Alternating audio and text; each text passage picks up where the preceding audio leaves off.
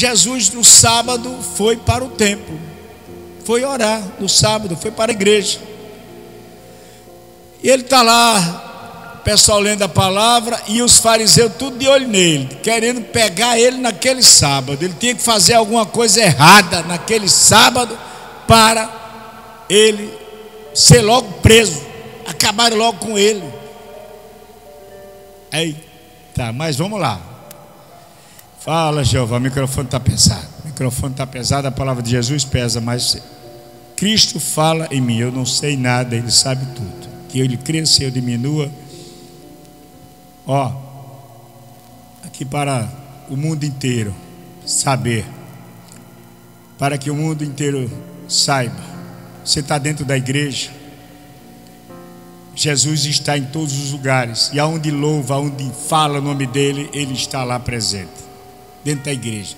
E quando ele chega, ele olha para todos nós. Se você estiver dentro da igreja, porque foi lá para buscar a mulher alheia, se você foi lá para a igreja para procurar um defeito dentro da igreja, saiba de uma coisa, eu vou repetir: Cristo fala em mim.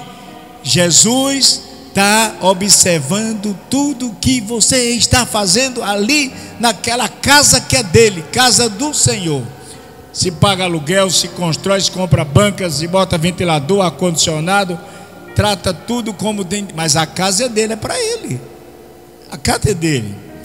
Porque se existir um templo que é igreja do pastor, ninguém vai. Igreja do evangelista, ninguém vai.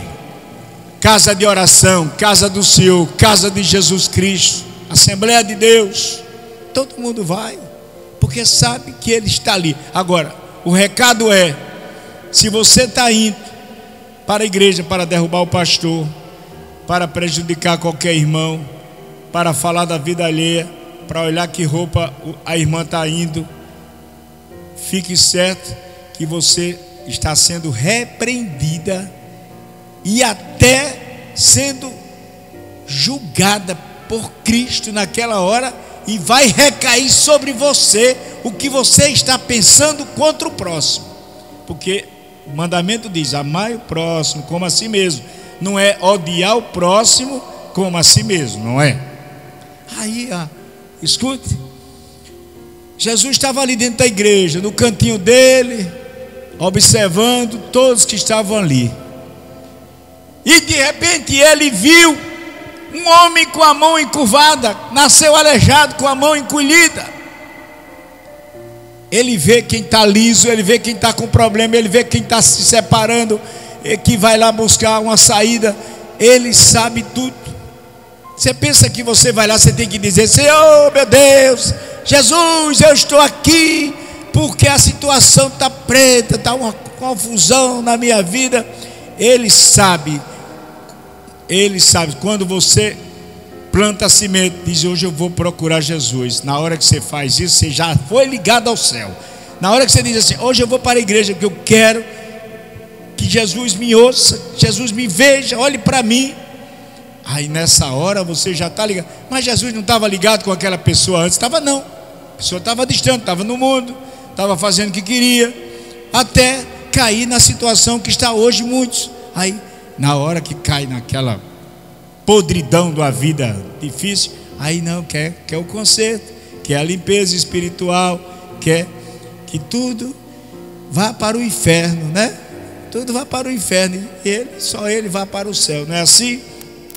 Mas ao tomar a decisão, a gente quando está no erro, está certo, que diz, eu fiz, não faço mais, andei, mas não ando mais, eu vou tomar a decisão hoje, vou. Aí você vai para a casa de oração. Quando você toma essa decisão, sabe o que, é que acontece?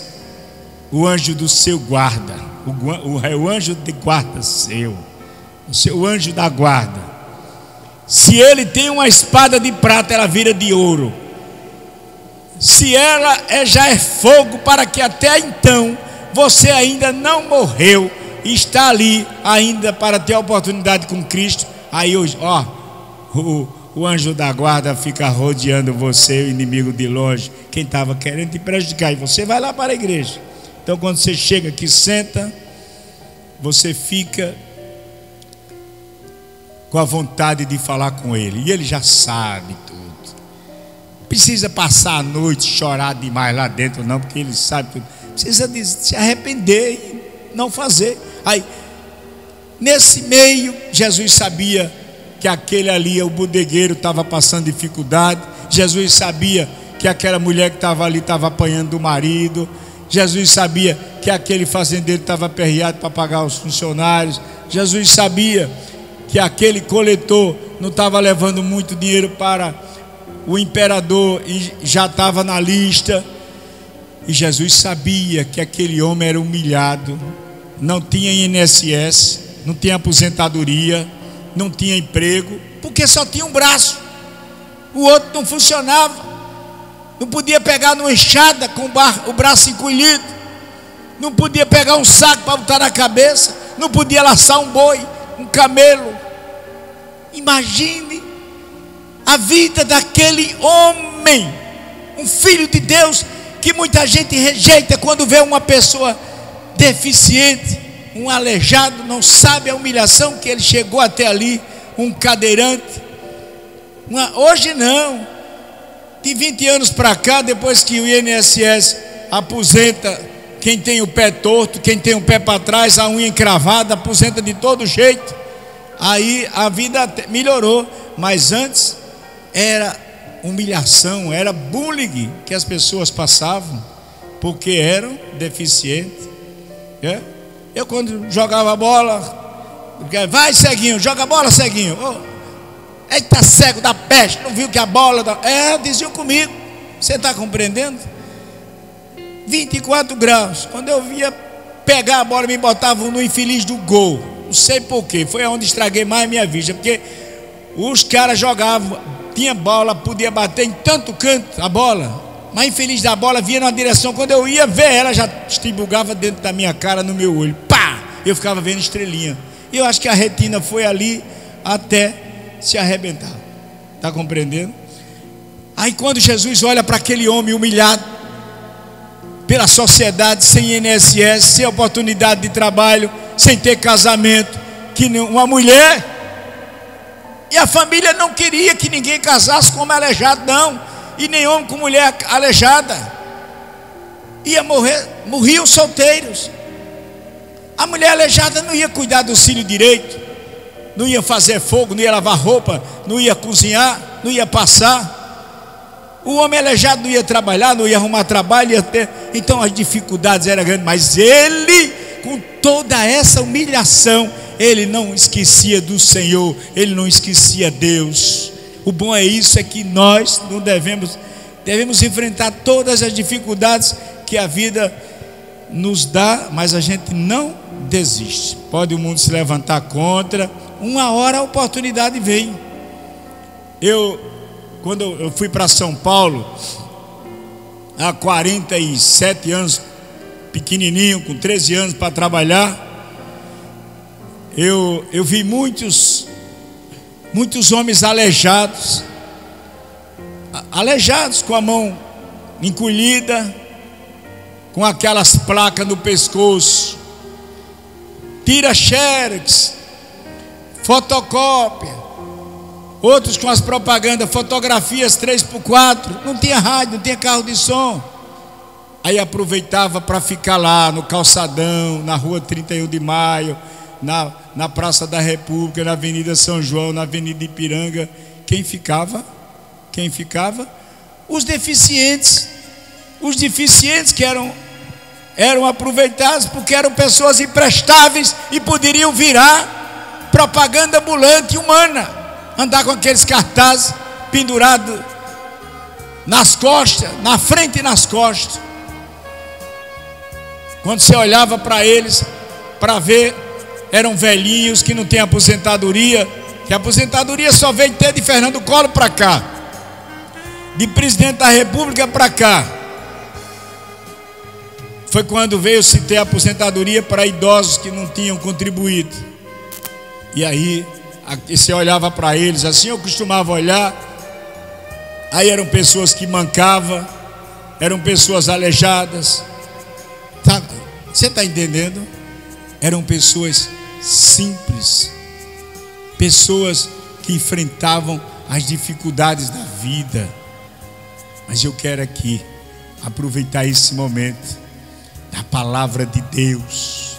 Quero aproveitar agora esta hora sagrada para dizer que quando Jesus olhou para aquele deficiente, quando Jesus olhou para aquele homem lá no templo, aquele homem com, a, com as mãos encurvadas, aleijado, ele tinha confiança em Deus. Eu acho que ele ali ia para o templo para atrás de uma que Deus desse uma mulher para ele, uma companheira.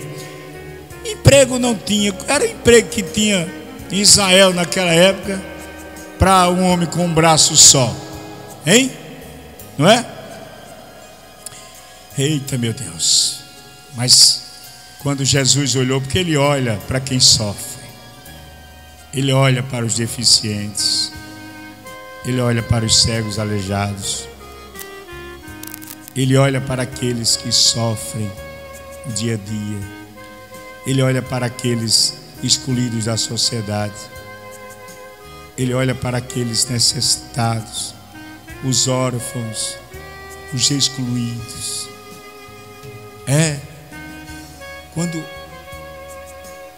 a igreja está cheia, que os cristãos estão dentro da igreja, Jesus está ali atualizando todos eles. É, minha irmã, você está pedindo uma benção, está reclamando que a benção não chegou até hoje. Hein? A benção não chegou até hoje, não é? Eu quero te dizer, porque a hora certa vai chegar. A hora de Deus, ela vai chegar. É, a, a justiça falha, tudo, mas Jesus não falha. Deixa eu, deixa eu dizer aqui, está terminando essa mensagem, que não é minha, veio do trono de Deus. Quem é? Veio do alto. Quem está aí? Jesus Cristo. Os anjos, arcanjos, querubins, serafins, todos nos acompanhando. Hein? Muito bem.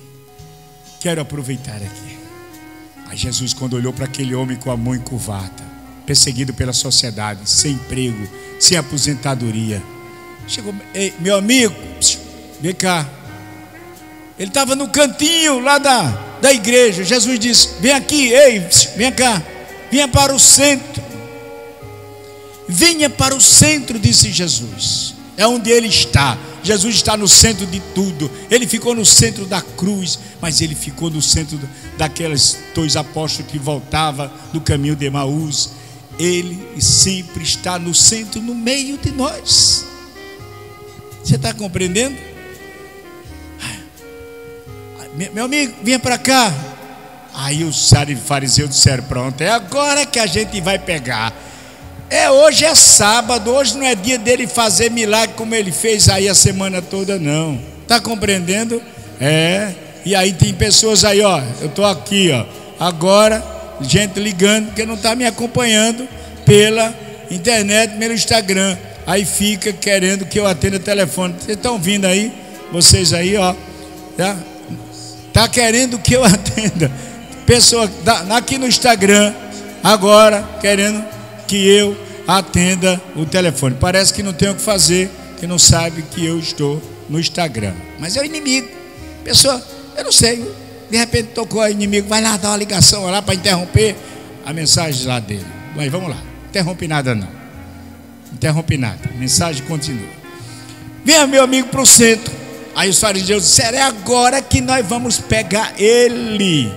Vamos pegar ele agora. Quando ele chegou lá no centro, Jesus disse: Estira o braço, estira o braço. E o, o homem da mão encolhida estirou o braço em direção a quem? A Jesus, em direção a Jesus. Estirou o braço em direção a Jesus Cristo. Você está compreendendo? Você está entendendo agora a palavra? Jesus chama e você estende as mãos para ele. Quando ele estendeu, a mão dele ficou curada, igualzinho a outra. A mão era fina encolhida, os nervos atrofiados, ficou tudo igual. Porque Jesus é assim, Ele é ontem, hoje, sempre é o mesmo. Ele transforma a vida das pessoas e deixa tudo igual, diferente em relação a outras pessoas, mas em relação a você, você vai ter tudo igual que você sempre quis. Está compreendendo? Aí os fariseus disseram: aí é demais, aí é demais. Fez um milagre no sábado, dentro da sinagoga, dentro da igreja. Diz os livros que o Simão, aquele que tinha chamado Jesus lá para comer na casa dele, rasgou as vestes, rasgou o vestido, foi. Aí os outros também. E Jesus pegou, saiu, viu que, que eles estavam sendo incomodados com as benfeitorias. E quando Jesus saiu, Pedro estava lá também. Ele esqueceu até Pedro. Foi embora, Jesus. Sabe o que, que é que os fariseus fizeram, o tal do Simão? Olha, atenção, cuidado com esse homem aí. Esse homem aí está fazendo milagre em nome de Beuzebu. Em nome de Beuzebu. Você sabe quem é Beuzebu? É o chefe de, do, dos, dos anjos maus lá do inferno. E o fariseu dizer que Jesus estava fazendo milagre em nome de Beuzebu porque eram as coisas que eles inventavam. De dia, um dia, um homem ia acompanhando Jesus, cheio de demônios, Jesus tirou os demônios dele. Aí um outro fariseu disse a mesma coisa. Ó, tá vendo aí? Não é que ele seja filho de Deus. Ele não é filho de Deus para tirar o demônio, é porque ele é, da, é chefe dos demônios e manda os demônios embora. Aí Jesus disse: Mas engraçado, né? Os demônios estão vindo atrapalhar a vida das pessoas, destruir, levar enfermidade, levar destruição, levar falência, tirar do caminho da salvação. Aí ele vai permitir que um deles faça o mal a eles próprios, que vá tirando eles de dentro das pessoas que eles já estavam para destruir, pessoas aleijadas, cegas, deficientes, acamadas, e foram eles expulsos, quer dizer que vocês querem me comparar a um deles e eu estou fazendo, botando eles para correr. Aonde eles iriam aceitar isso? Só na cabeça de uns camel, camelo burro daqueles, disse nosso Senhor Jesus Cristo.